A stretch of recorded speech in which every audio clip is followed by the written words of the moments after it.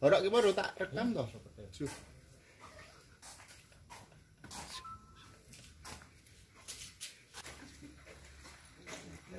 Met. Wah, Duit bulan. Saya pelan-pelan mas. Cek Mas. enak tenan. Mas, mas. Yo kolo-koloe kamera ki yo. Dipegang-pegang ini mas. Aduh mas. Backlight ya, Dik. Dicek. Dicek. Lagi mas.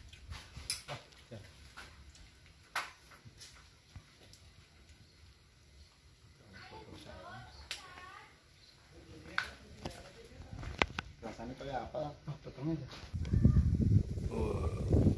Anggur bantul digawe AO. Disuruh mas ada gue. Ya. Bentar, bentar mas. Nama ini tidak ganti om.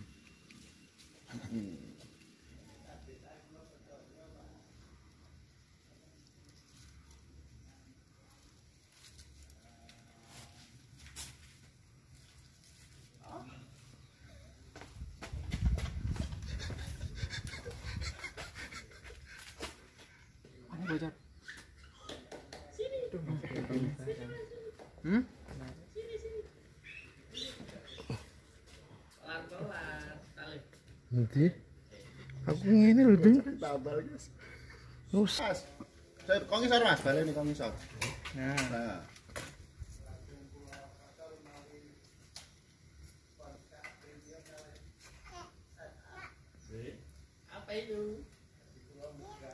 Saking manisnya banyak. Eh, Mas.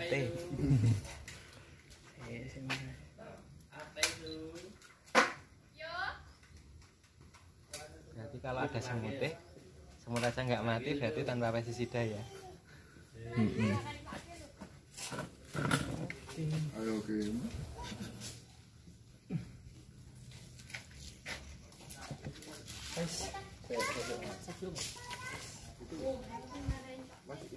Berapa? Empat setengah bulan dari belas. Masih masak gitu.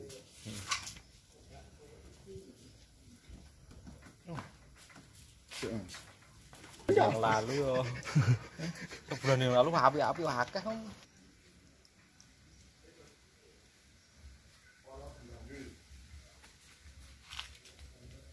Dina Mas, enak enak Mas. Mas.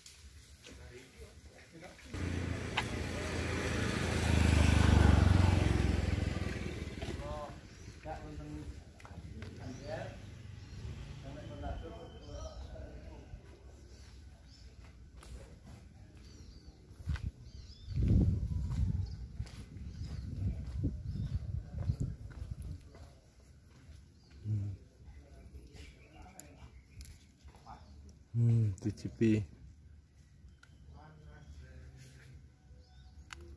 Hmm.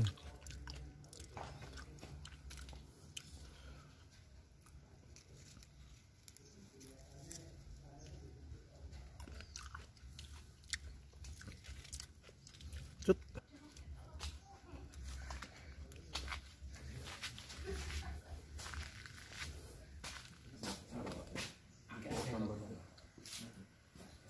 Terus kakak foto. YouTube ini, Ding.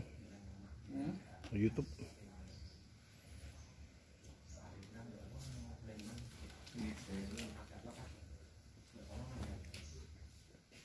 Lagi apa ketut, Mbak?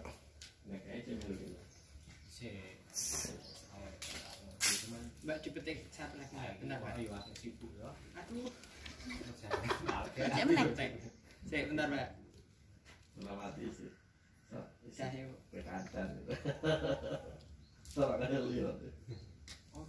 Sik. Yo. Mama nek.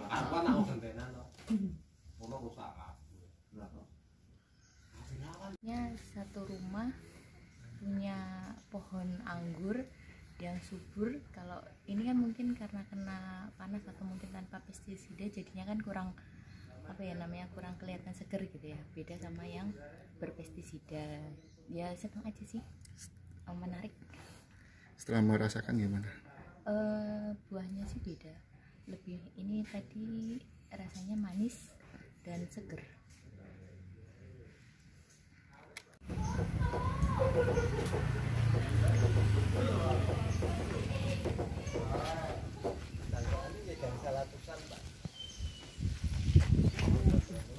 Buat lagi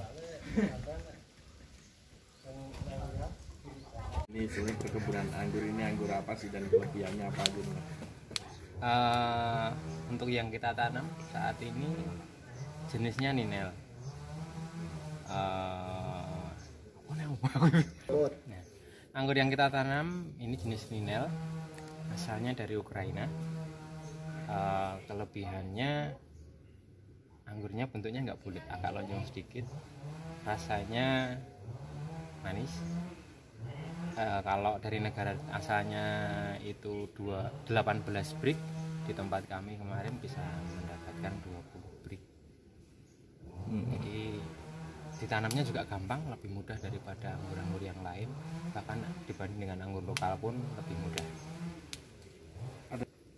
Kalau cara khususnya enggak karena kebetulan saja di, eh, di Indonesia itu panasnya bisa didapatkan yang lumayan lebih lama itu terus tanahnya juga kebetulan di tempat kami agak-agak berpasir jadi sesuai dengan yang dibutuhkan tanaman.